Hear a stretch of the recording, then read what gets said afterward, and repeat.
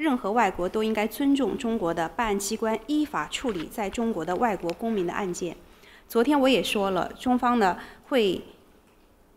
按照有关的国际公约和中国的法律，为外国驻华使领馆的官员履行职责提供便利与协助。同时，任何人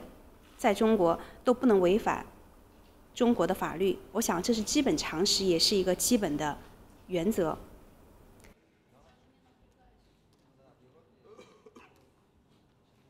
那么，任何的外国的政府，他如果想真正的保护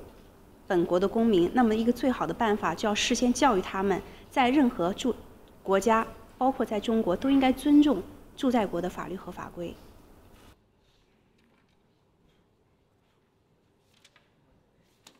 事实上呢，中国与瑞典之间有着畅通的沟通